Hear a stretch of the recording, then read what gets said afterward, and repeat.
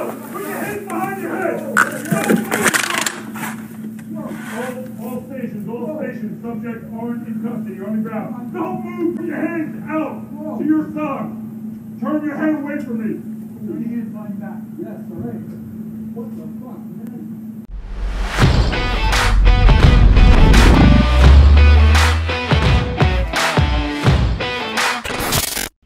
What's up, guys? John Anthony here from John Anthony Lifestyle.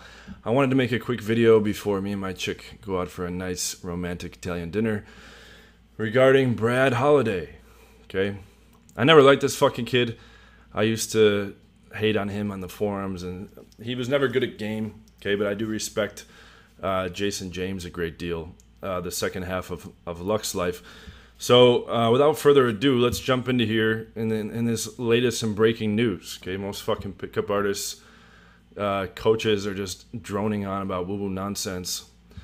I like to see myself as the uh, the Chael Sonnen of the dating community in some ways. All right, so uh, what happened here? A Manhattan pickup artist with an interest in the far right uh, QAnon conspiracy was arrested on. Reminds me of fucking Sonny Arvado with the, with the conspiracy stuff. Was arrested on Wednesday for allegedly participating in the dead, deadly insurrection at the U.S. Capitol earlier this month. Uh, Samuel Fisher, I didn't know that was his real name. This is Brad Holiday, the the coach Brad Holiday, infamous for making countless videos that get about 30 views each. a lot of times less than 100, but that didn't seem to deter him. I just never liked this kid. He just seemed like kind of a punk and was always, uh, you know, running his mouth, etc. But didn't have any game. So uh, let's see. So Samuel Fisher, an Upper East Side resident who appears to run a spa.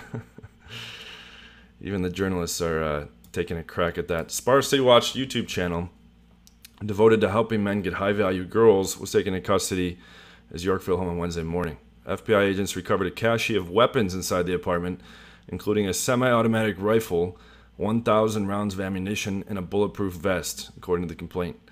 At his arraignment on Wednesday, prosecutors said Fisher traveled to Washington, D.C. with multiple weapons and the intention of engaging in violence. Yeah, this is fucking kind of fucking weird, right? Uh, it, it sucks. Like, all the pickup shit in the news, it's like, you know, there, there, there happened to be like, you know, like the Elliot Rogers shit. Like, you know, I'm not making fun of any of this stuff, of course, but it's it's just like pickups giving like a bad name and a bad face, right? Like you, you've got like Julien becoming the most hated man in the world and then being a giant pussy on CNN, okay, getting banned from several countries, right? Or you have, uh, you know, Bradicus blowing up Mexico, Austin Summers blowing up Colombia the fucking idiot San Diego guys that were falsely uh, connected to my old company. Okay, they never worked for us. They were friends of my old business partner, and that was the extent of it. You know, now we have a guy that's traveling with a thousand rounds of ammun- ammunition, laughing due to the, the absurdity, and a semi-automatic rifle with a bulletproof vest. Okay, and then they're like, "Oh, look, this is associated with the, the pickup community." Okay, that has nothing to do with anything in the pickup artist community. The journalists just like to fucking bring up that shit like look at look at like bodybuilding.com right there's another place where, where thousands of people post you know just because some fucking idiot in there becomes a pedophile or something doesn't mean that like you know everyone associated with uh, bodybuilding.com is a pedophile. They pointed social media posts in which fisher allegedly bragged about carrying guns to dc and wrote that he wanted to bring the pain upon trump's political enemies. Here he is looking like a fucking cracked out maniac with a cache of weapons. Very intelligent thing to post on social, social media.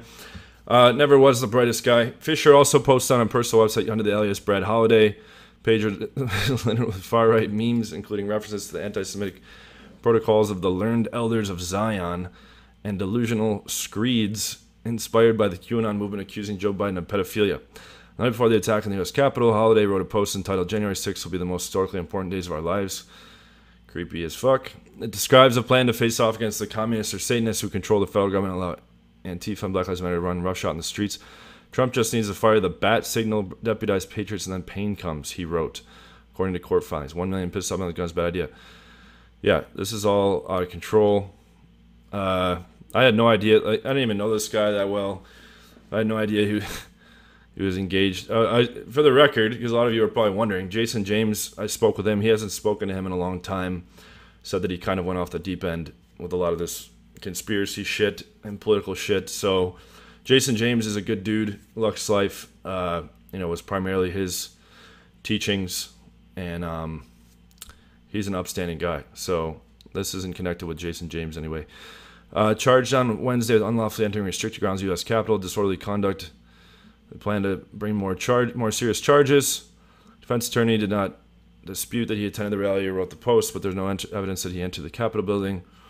And then his bail was denied because he found like a small uh, army of weapons. And then one other one we'll look at really quick.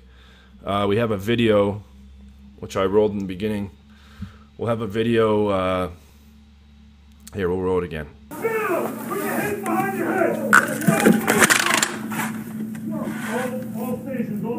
Subjects aren't in custody, on the ground. Don't move! Put your hands out to your side!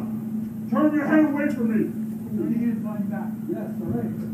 What the fuck, man? Dude, my God. Are you? Are you? Oh, dude.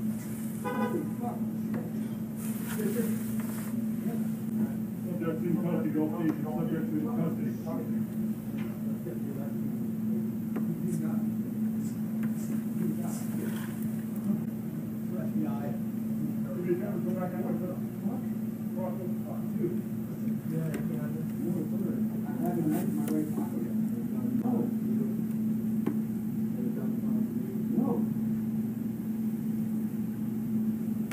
Okay, so there you have it. Pretty fucking hardcore. Uh, the footage was given the post by the resident. Didn't want to be identified. Shows federal weapons with their weapons drawn. Put your hands behind your back. He's like, "What the fuck?" Blah blah blah. Yeah, thousand rounds, two bulletproof vests, handgun, rifle, shotgun, thrown out of control, held without bail. All right. Well, hope you enjoyed that uh, little news update. I am off to a romantic. I am off to a romantic Italian dinner. Uh, if you have any interest in mastering pickup, uh, click the link for my mentorship program in the description. Thank you all for tuning in, and check out those uh, those student infields that I posted recently. That stuff is always nice for people to see. Okay, there's so many fucking scammers in this niche. All right, take care. Oh, and everyone's been calling me fat and out of shape. I happen to be shirtless getting ready for a restaurant. I'm, I'm by no means ripped right now. I'm about to be doing some cutting. But here we have my current physique. I'm at 6'4, uh, 215 pounds. And you have a bunch of fucking jackasses running their mouths on the internet. Hey, fat ass, lose weight, etc. Meanwhile, there's like Luke, uh, RSD Luke running around, Derek Moneyberg, and uh, who's the other big fatty? Uh, I know I'm missing somebody.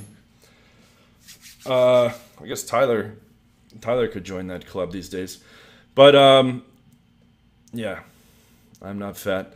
It's funny because anyone that fucking talks shit, I'm always like, I have extensive Krav Maga, BJJ, and Muay Thai training. If you want to back up your claim, 6'4", 215 pounds. By no means fat here.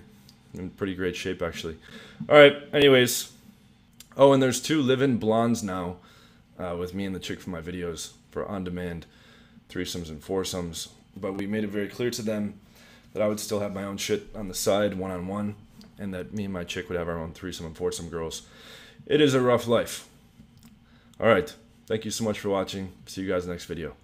Some do it for the income, but we do it for the outcome. Some of us are active while others just their mouth run. No doubt, son, this is not just about fun. We will not be outdone by these cowards who shout scum.